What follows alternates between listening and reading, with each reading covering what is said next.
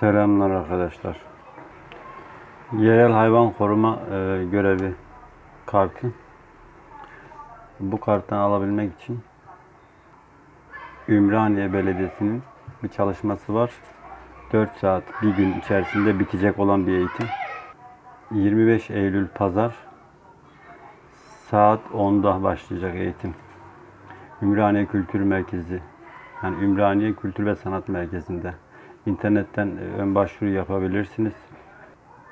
Eğitimden sonra kartınızı aldığınızda İstanbul bölgesi yani Tarım ve Orman Bakanlığı'ndan şöyle bir kart size verilecek. Besleme yaparken e, rahat edersiniz. En azından kim kimdir, hırsız mısın, arsız mısın muhabbetler için ya da bir şikayet ettiğinizde e, dikkate alırlar. Yani İstanbul bölgesi için geçerli olacak. Anadolu yakasında bilgi amaçlı e, paylaşım yapıyorum. Tekrar edeyim. 25 Eylül Pazar sabah saat 10'da başlayacak. Ümraniye Kültür ve Sanat Merkezi'nde bu eğitim 4 saat. Normalde 2 gün e, hafta sonu süren bir eğitimdi benim aldığımda. Siz 4 saatte e, bir günde eğitimi bitirmiş olacaksınız. E, bu kartı aldıktan sonra şöyle e, ardında bir 5 yıllık geçerlilik süre şeyi var. Mesela ben Avrupa yakasındayım.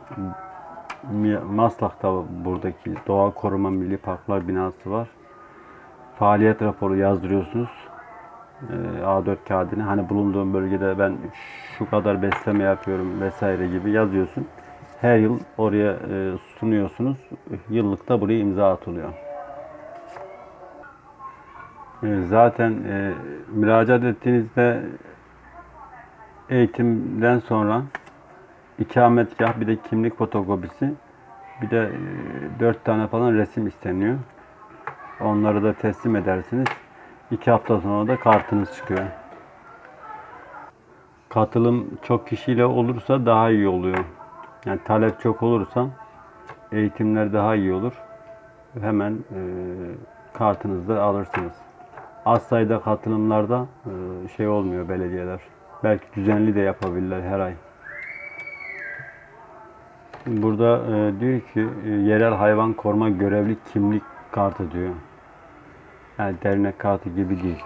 Yani bu bir nevi hayvanseverlerin kartı. Üstte TC yazıyor elime kapattığım yer. Ad soyad vesaire. Beni dinlediğiniz için teşekkür ederim. Kanalımızı takip edin. Bir de beğeni yaparsanız ara ara güzel bilgiler paylaşacağım. Faydalı bilgiler paylaşacağım. Teşekkür ederim. Hoşçakalın.